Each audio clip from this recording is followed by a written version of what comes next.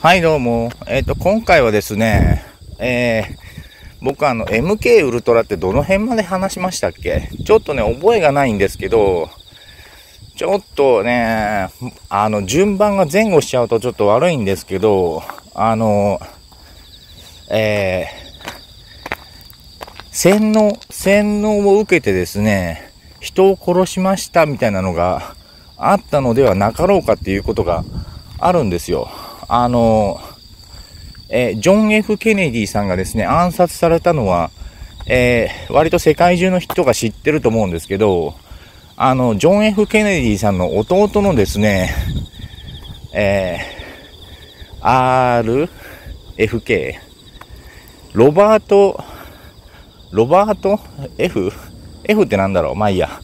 ロバート・ F・ ケネディさんもですね、暗殺されてるんですね。で、えー、えーとね、誰だったかな？サーハン・ジャンベラ・サーハンみたいな、なんかそんな感じの名前の人なんですけど、えー、その、ロバート・ケネディさんをですね、あの、なんか公演中に殺されてるんで、みんな見てるんですね。で、えー、そのサーハン・ジャンベラ・サーハンさんはですね、えー、ロバート・ F・ ケネディさんをですね、殺した記憶がないんですよ。で、えー、おそらくですね、恨んでもいないんですよ。だけどこ、銃かなんかで殺してるんですね。で、えー、調べてみればわかると思うんですけど、えー、RFK 暗殺かなんかで多分ググれば出てくると思うんですけど、え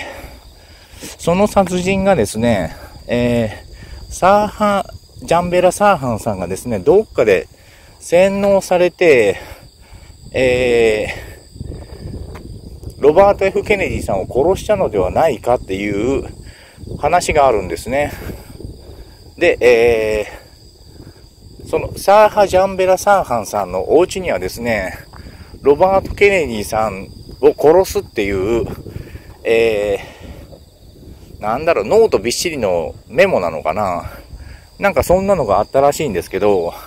おそらくですね、サーハン・ベシャラ・サーハンさんはですね、これあれだな、犯人かなんかに言い直すか。その犯人の人はですね、えー、ロバート・ F・ ケネディさんにおそらく恨みみたいなのは全くなくて、なんで俺が殺したかわかんないんだけど、みたいな感じなんですけど、えー、まあ、裁判で有罪で、あれですかね、懲役200年ぐらいかなんかになってるんですかね。えー、なんか一応、なんかかなり、二十歳ぐらいで殺してるんですけど、えっ、ー、と、まだなんか服役中らしくて、洗脳だったらちょっとかわいそうかなと思うんですけどね。はい、え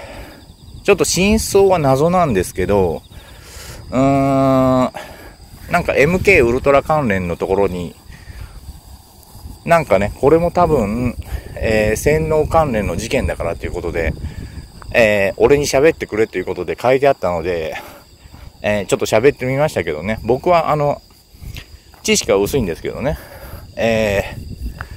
ー、だからですね、ん？どうなんだろう。ロバート・ F・ ケネディを撃てとか、ロバート・ F・ ケネディを撃てとか、そういうのを夜な夜な、あれなんですかね。頭に植え付けるんですかね。そしたらたまたま、それがヒットして殺したんですかね。殺してくれたんですかね。犯人の人が。そこまでの、そこまでの洗脳できるって思いますけどね。あのそこまでの洗脳できるかな例えばそのノートびっしりのロバート・ F・ ケネディ殺すっていうのが誰かが、えー、別の人が書いたとして、えー、銃を渡されて、あの、その、ロバート・ F・ ケネディの講演会場に行って、あとはこれをお前が撃つだけだから。で、その、多分ですね、その犯人の人はですね、洗脳された記憶がないんですね、多分。うわ浮きたああびっくりしたなひ、肘にカナブンかなんか止まってたよ。何の話でしたっけ？はい、あ、だから、えー、っとですね。うーん、ロバート・ F・ ケネディさんは、えー、洗脳された犯人に、えー、洗脳した犯人の人、洗脳した人、なんかで、あの、大統領選挙の前哨戦みたいなので、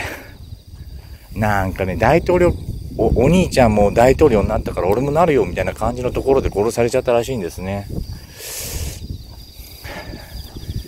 結構謎に包まれてますけど、一応まあ裁判終わっちゃってるってことで、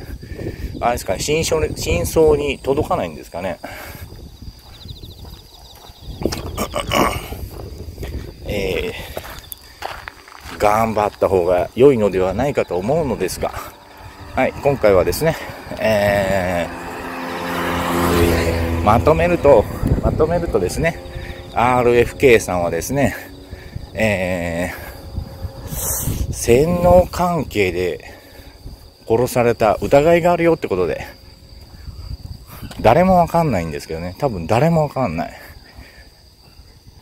はい、以上です。